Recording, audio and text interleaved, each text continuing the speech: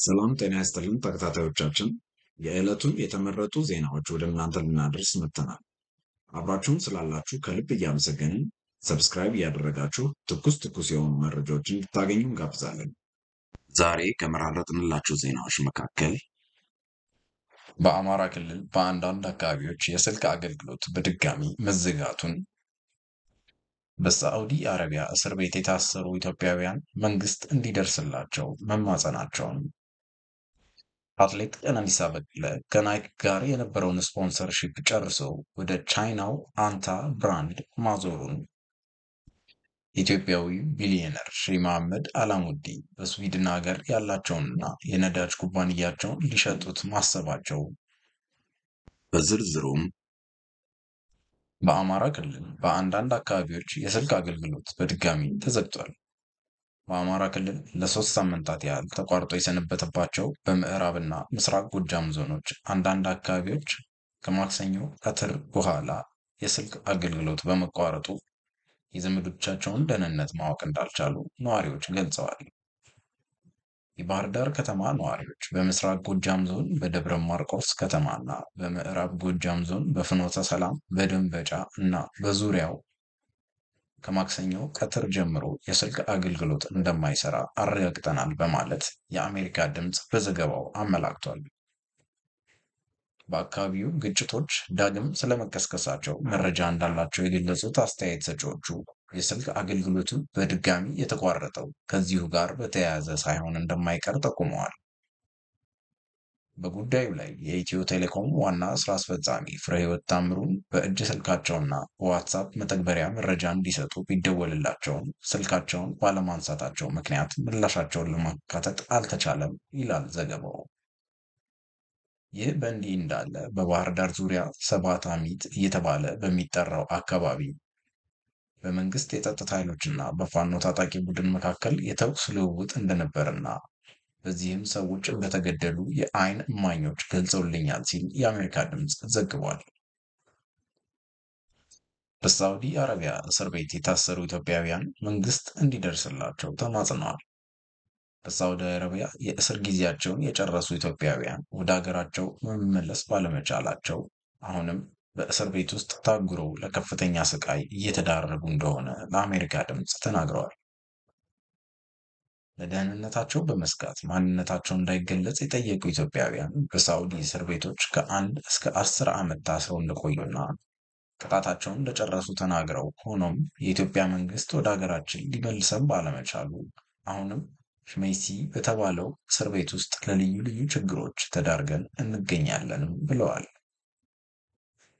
በቁጥር 300 የሚደርሱ ፍልሰተኞች የእስር ጊዜያቸውን ጨርሰው ወደ ሀገራቸው ለመመለስ እየተጠባበቁ እንዳሉ የጠቀሱት አስተያየት ሰጪዎቹ አሁንም በሺመይሲ እስር ቤት ውስጥ ከ50 ሺህ በላይ ኢትዮጵያውያን ታስረው እንደሚገኙ ገልጸዋል። የውጭ ጉዳይ ሚኒስቴር በበኩሉ በሳዑዲ አረቢያ የእስር ጊዜያቸውን የጨረሱና በጊዜያዊ ማቆያዎች የሚገኙ ህገወጥ ፍልሰተኞችን የማስመለስ ስራ በአጭር ጊዜ ውስጥ እንደሚጀምር አስታውቆ ፍርዳቸውን ያልጨረሱ ግን በሀገሪቱ ህግ ብቻ እንደሚዳኙ አመልክቷል። ኢትዮጵያዊው ቢሊዮነር ሼህ መሐመድ አላሙዲ በስዊድን ሀገር ያላቸውንና የነዳጅ ኩባንያቸውን ሊሸጡት ማሰባቸው ተሰምቷል። በኮራል ፔትሮሊየም ሆልዲንግስ ስር የሚተዳደረው ፕሪም ሆልዲንግስ ኤቢ የነዳጅ ኩባንያ በስዊድን ሀገር ትልቁ የኢነርጂ ኩባንያ ሲሆን በስካንዲኔቪያ ሀገሮች የላቀ ታዳሽ ኃይል አቅራቢ መሆኑም ተነግሯል። የኩባንያው የወደፊቱ ሂደቱ እንዲወሰን ስትራቴጂያዊ አማራጮች እንዲፈለጉ ባለቤቱ ትውልድ ኢትዮጵያዊ አላሙዲ ለኮራል የዳይሬክተሮች ቦርድ የኩባንያውን አብዛኛውን ወይም ሙሉ በሙሉ የአክሲዮን ድርሻ ለሽያጭ እንዲበቃ ትዕዛዝ ማስተላለፋቸው ተሰምቷል። ኩባንያው በስዊድን ከ550 በላይ የነዳጅ ማደያዎች እንዳሉት የተነገረ ሲሆን በጎተንበርግ እና ላይሴክል ውስጥ ሁለት የነዳጅ ማጣሪያዎች አሉትም ተብሏል። ይህም ከስዊድን 80 በመቶ ከኖርዲክ ሀገሮች 40 በመቶ ነዳጅ የማጣራት አቅም እንደሆነም ተጠቅሷል። ኩባንያው በአሁኑ ጊዜ በታሪኩ ከፍተኛውን ለውጥ በማካሄድ ላይ ይገኛል የተባለ ሲሆን እንደ አውሮፓውያን አቆጣጠር በ2035 ከባቢን የማይጎዳ ታዳሽ ኃይል እና እንደ ነዳጅ እና የተፈጥሮ ጋዝ የመሳሰሉ ባህላዊ የኃይል ምንጮች የሚባሉትን በማምረት ትርፋማ ለመሆን አቅዶ እየሰራ መሆኑንም ተነግሯል። ባለፈው ዓመት ፕሪም ሆልዲንግስ የ161 ቢሊዮን የስዊድን ክሮነር ወይንም 14.6 ቢሊዮን ዶላር ሽያጭና 14.8 ቢሊዮን ክሮነር ትርፍ ማስመዝገቡን ኩባንያው ባወጣው መግለጫም ተናግሯል። በመጨረሻም አትሌት ቀነኒሳ በቀለ ከናይክ ጋር የነበረውን ኮንትራት ጨርሶ ወደ ቻይናው አንታ ኩባንያ sponsorship ኡን አዙሯል። ኩባንያው የረጅም ርቀት ሯጮች ማሰልጠኛን በአፍሪካ እንደሚገነባም ይፋ አድርጓል።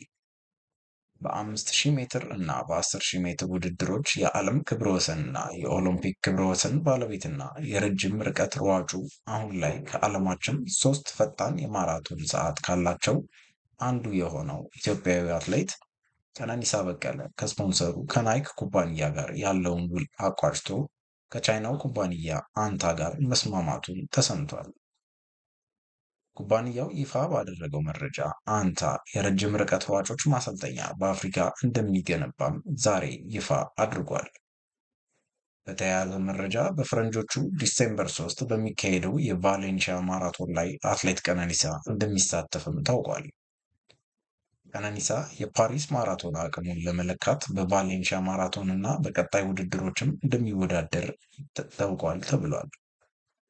ውድ ተከታታዮቻችን አብራችሁን ስለነበራችሁ ከልብ እያመሰገንን like፣ share፣ comment እያደረጋችሁ አስተያየቶቻችሁን አድርሱን። መልካም ጊዜ